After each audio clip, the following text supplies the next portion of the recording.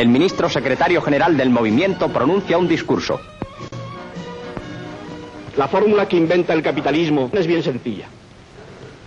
Tú pones un trabajo, yo te doy un jornal y en paz. Con esta sencilla fórmula, que no es otra que la terrible injusticia de la compra-venta del trabajo, el capitalismo intenta justificar su afirmación de que el capital es el único que produce y que el obrero no es más que un elemento secundario de la producción que vende su trabajo como otros venden las materias primas y los útiles de labor.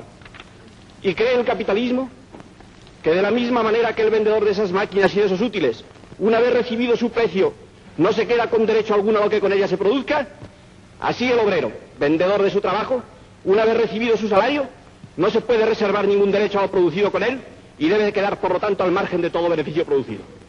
Como veis, fue el capitalismo el que creó el problema social al creer que la producción es solamente un problema financiero y que los problemas financieros no tienen nada que ver con los problemas humanos.